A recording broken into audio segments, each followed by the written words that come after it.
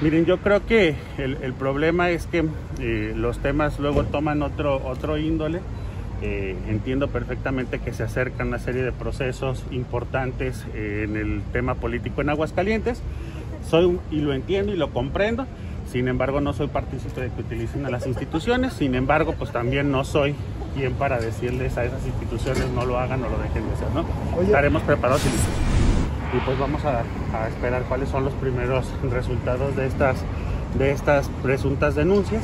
Que les quiero decir claramente, el Congreso no ha sido notificado, pero por lo mismo en conocimiento de nosotros, saber que hay un tema eh, por parte de la Fiscalía, seremos respetuosos en cuanto a los pronunciamientos. Oye, pero el fiscal anticorrupción sí está hablando, violando la presunción de inocencia, dando detalles de la investigación. Aquí habrá que ver, eh, en todo caso, eh, un tema importante, las actuaciones y las investigaciones pues serán por parte de ellos.